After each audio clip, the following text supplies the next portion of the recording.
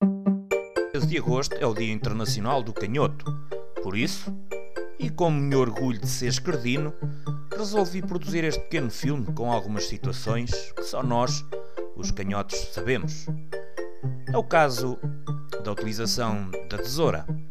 Esta é uma tesoura especial para canhotos, porque como podem verificar tem a lâmina uh, inferior do lado de dentro. Uh, isto torna o corte do papel muito natural para nós canhotos, que, portanto, cortamos, claro está, com a mão esquerda, porque conseguimos uh, ver perfeitamente a linha por onde devemos cortar.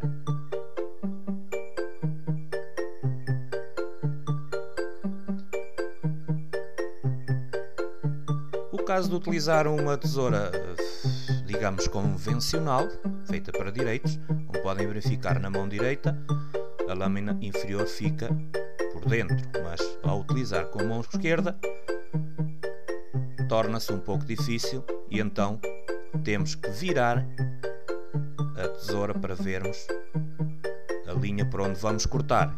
Além disso, temos que fazer o pequeno jeito para o corte ao contrário desta tesoura uh, feita especialmente para canhotos. Assim poderemos ver perfeitamente a linha por onde vamos cortar. Aqui temos uma parte especial para o polegar esquerdo, portanto, esta é uma tesoura bastante confortável.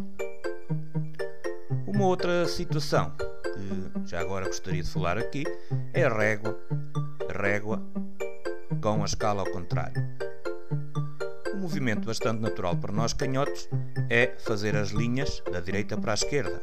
Por isso, a escala da régua deve estar também da direita para a esquerda. Isto torna-se bastante natural para nós, tal como é natural fazer linhas da esquerda para a direita para os direitos. Uh, outro objeto também bastante peculiar é a afiadeira. Neste caso temos uma afiadeira para canhotos em que a lâmina está colocada ao contrário. O movimento circular da mão é sempre de dentro para fora, é um movimento bastante natural, com a mão direita ou com a mão esquerda. Por isso, a lâmina colocada ao contrário vai tornar bastante mais confortável este gesto. Aqui temos uma afiadeira com a lâmina colocada para a mão direita. Neste caso, e para afiar, um canhoto faz um gesto antinatural, de fora para dentro, o que vai dificultar, portanto, esta ação. Isto também é uma das outras hipóteses de conseguirmos adaptar os objetos existentes. Neste caso, é um arquivador de CDs que está feito exatamente para manusear com a mão direita. Neste caso, eu fiz isto, virei ao contrário e posso manusear e tirar e colocar os CDs apenas com a minha melhor mão.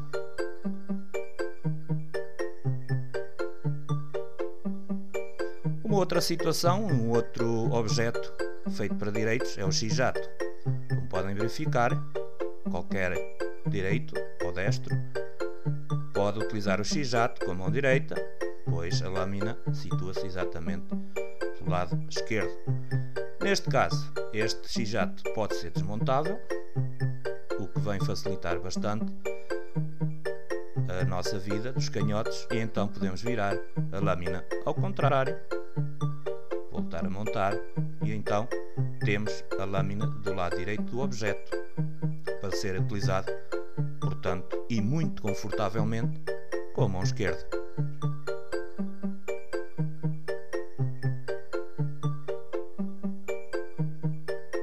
Uma outra situação de adaptação é a nossa carteira.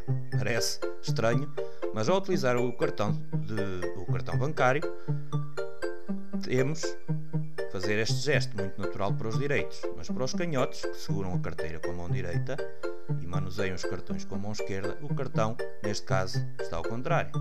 Está que ser virado e depois colocado do lado direito normalmente nos multibancos.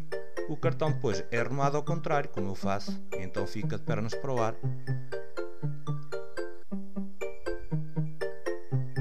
Outra situação são as cartas de jogar, que têm os símbolos, têm apenas dois símbolos e na diagonal. Um destro segura as cartas com a mão esquerda e manuseia as cartas com a mão direita. Neste caso, se for um canhoto, segura as cartas com a mão direita e o que é que acontece? Ao arrumar as cartas, digamos assim, os símbolos simplesmente desaparecem, o que iria tornar a jogada um pouco difícil. As cartas com quatro símbolos são ótimas e qualquer um pode jogar. Aqui temos outro exemplo da dificuldade para nós canhotos. É o tal movimento antinatural que já falei, a quando da fiadeira e do lápis é fazer o gesto de fora para dentro, que dificulta bastante esta ação. Já existem uh, saca-rolhas para esquerdos também. Finalmente, uma pequena curiosidade, um direito para verificar uma lista de compras ou de férias, utiliza o TIC fazendo do lado direito das palavras. Pois os canhotos, ou pelo menos eu faço, quando quero verificar uma lista, faço o TIC do lado esquerdo. E então verifico a lista deste modo.